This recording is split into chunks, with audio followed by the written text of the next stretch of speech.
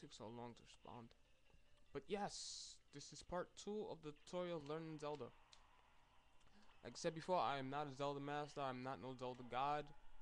I'm just making this video just because of you know I found some useful things, and also a video tutorial is always good to get a visual things instead of always reading it on text sometimes people sometimes learn through visuals others might learn you know through reading it because they can just always easily go back or you know whatever the person's preference. So if I don't know if I said something wrong and you know I said something wrong you can prove it. Please correct me. You can do that. Comment on the video because this video is you know to help people out. And if you help me help others out you know that's that's yes. Win. So okay with that said um i went on about you know her moves and all that. Um next thing is learn to space with zelda. It's really important to learn to space because her slow moves become really safe. Like i'll give a quick example. It's really short and simple. Like This move is slow. And it lags once you touch the floor unless you're godly at auto canceling. Which I am not at the moment. I don't think you can even auto cancel like fair with a short hop. If you can, I suck at it. But yeah, this move is not safe. It's slow. And if you do it up close, and you your opponent blocks it, you're open for a hit. But if you space the move, it's really hard to punish because the move might be slow, but it has range. Plus, on top of that, the hit stun. So if you space it, a move that is not safe actually becomes safe. If that makes any sense to you guys. So, yes, back to Zelda. Where is she? Okay. Back to her you're gonna wanna learn how to space your moves with Zelda. Learn your range. So your slow moves are safe on block. Like around this distance. Move up a little more right about here. That will hit. Her down tilt, same thing. So with Zelda, you wanna keep a distance where you can throw out your moves and if they block it it's safe so you won't get punished Cause if you do too close you know they have more time to punish you. You space your moves this or you space a down smash. I don't know if a down I think a down smash could be punished even if it's safe. I am not sure I don't remember. Like I said excuse me I said you guys can correct me on that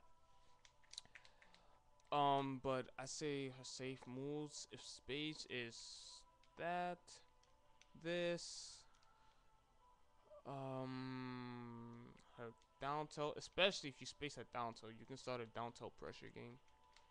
So that, uh, yeah, yeah, yeah. What else? What else? What else?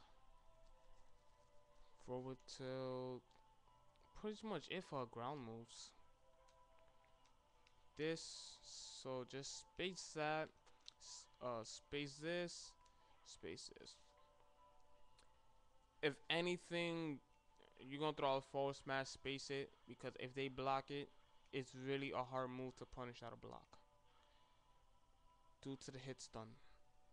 But if you do too close yeah you're gonna get punished.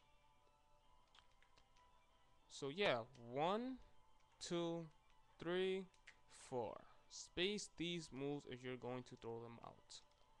And you are not sure if they're going to hit or if your opponent is going to block. That way you don't leave yourself open. So there you go, you have that. Now, when you space your moves and you know your range, it's time to open people up and bait reactions where they think they are safe but they're really not and you can get a free hit. This is something known as a frame trap. So here's a perfect example of a frame trap.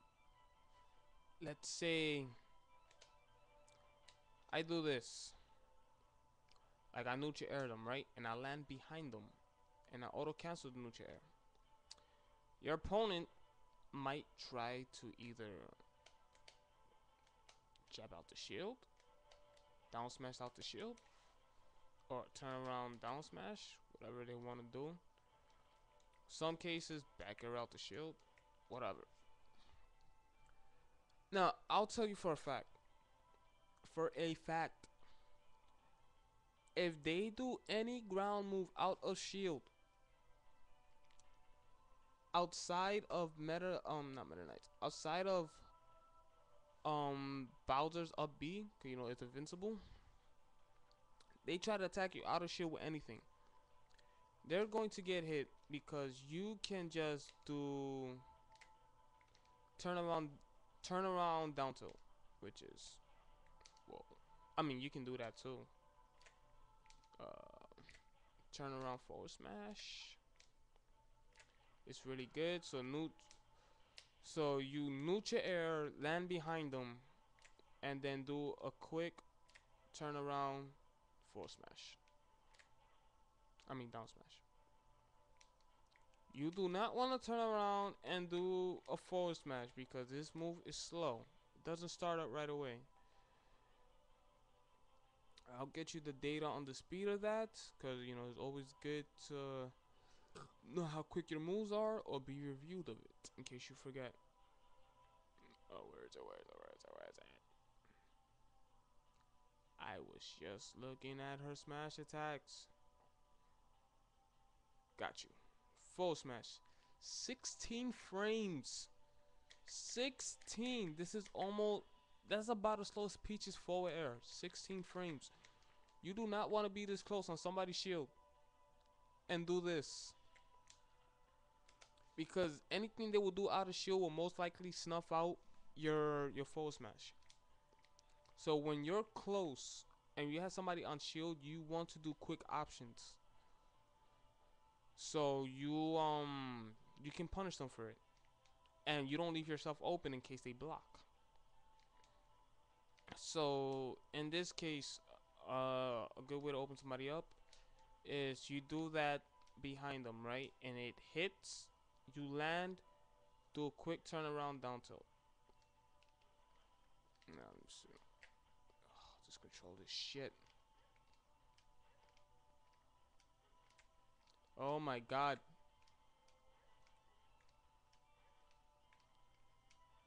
Come on, come on, come on. There you go, like that. Quick turn around. Down tilt.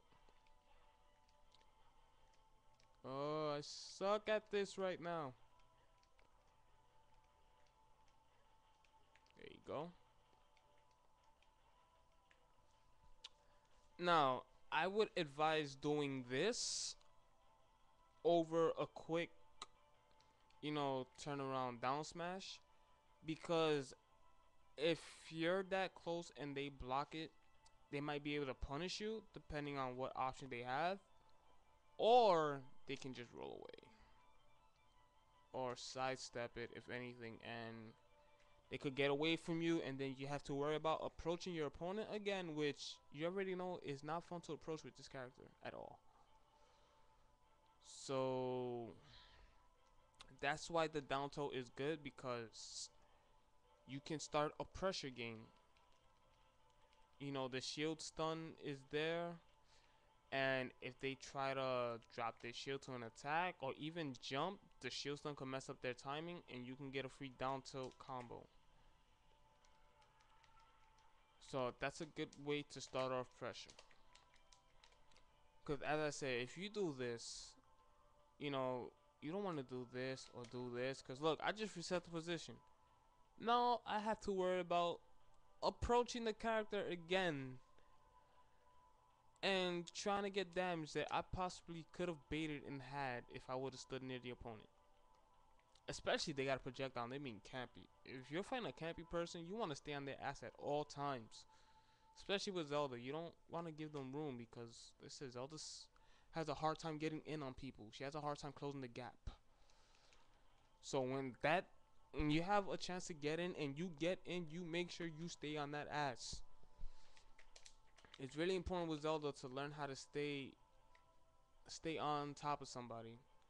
I know it's hard, especially with matchups, but if you want to do justice and win, you have to stay on them because think about it. You're really gonna get good, decent damage if you stay on them. I mean, you can't really, you can't really do this shit all day, unless somebody obviously doesn't know how to deal with it. But against a smart opponent, you can't do that shit all day. Especially if they just bait it, they can just power shield. And remember, you're open for a long time after it detonates. Like, watch. See how long it took him to shield? After the blast, I can't shield right away. So keep that in mind. So yeah, a good way to open somebody up is you can just do that, land behind them, out the neutral air, they block it, reverse down tilt.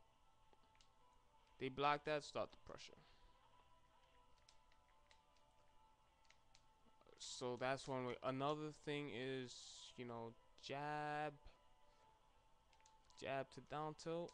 They block it. Uh, another good way to open somebody up with Zelda, you can. I don't know if you can like forward tilt, forward tilt to down tilt. Let me see. That's the range. Wow, I got a phantom hit there. That shit has godly ass range. Holy shit, range is really good. But yeah, those are some good ways of opening up somebody. Uh, let's see what else is there. How long was this video? 12 minutes. Okay. Uh, yeah, those are well with her neutral air, like off the air. You know, do that. You land behind them. You land in front of them. You can down tilt if you auto cancel the nair, down tilt is really good. Don't really, don't like neutral air and then do that. Because like I said, if they block it, you're open. You don't want that. So just do this to this. Pretty much when you get close and you think somebody's going to stay on this shield, do this. It's really good pressure. You start pressure once you get in. This move is really good to open people up It's really good. so you have that. Uh, let's see what else is there. Uh, hmm. let's say you have a really defensive opponent. Well, I'll put it this way. First with Zelda, depending on the matchup that you're in, whatever, you want to condition your opponent to block a lot you have to put fear in them to block. And a way to block is, you know, what I was telling before. You know, you do things like this, frame trap them. You know, you do this, they think they're safe. No, you're not. You do this, they to attack, think they're safe. No, you're not. You do this, no, you're not safe. You no, you're not gonna. No, you're not gonna. No, denied. I don't know if photo will work, but yeah when you do stuff like that and you hit them, they're going to be scared to push a button because they're gonna think, oh, you're gonna do that shit again. They do not want to get hit. So in some cases they'll be shielding. Now when you condition them to shield, that's when you do your pressure strings. Like you know, you jab once and you down tilt. Or you know, you jab twice because the shield might push them back and they might try to drop their shield to shield grab you. You know, do that. I say two two jabs at best. Venting jab to that. You can probably jab to a forward tilt if you think they're gonna drop their shield or jump. This can catch jumps. Especially if you angle it. It can catch jumps. It's a it's somewhat of a good anti-air. Somewhat. It depends on your timing and spacing. And who you're fighting and the options that they have in front of them, especially in the air. Let's keep that in mind because this move is not that fast. But it has good range and is good for spacing and keeping yourself safe. Good, good to open people up too if you're good at it. But yeah, So when you condition your opponent to block, that's when you do your pressure strings. One good pressure string to open somebody up, like I said before, you can neutral air, neutral air, and then jab. When you neutral air and then jab, it eats up a good amount of your opponent's shield, especially if it's not full, and you can get a free down tilt poke. So that's a good way to open somebody up when they're blocking. Neutral air, jab once, down tilt if they block everything. Make sure to space your jab because they block. Remember, jab is not safe. They can punish you in time. You space your jab, get all the hits in with the hit stun, and then you just go to jab to. See, it's not that slow. Especially if they hit on shield.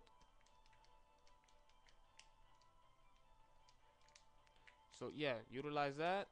Utilize this. And you're pretty much good to go. That's how you open somebody up.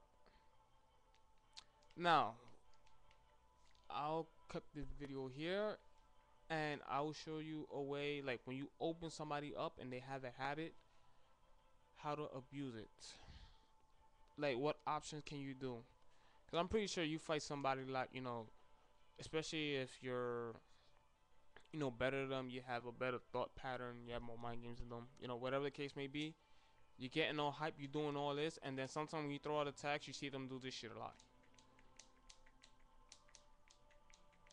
And sometimes they'll leave you open and you get frustrated and then you get hit with you know attack.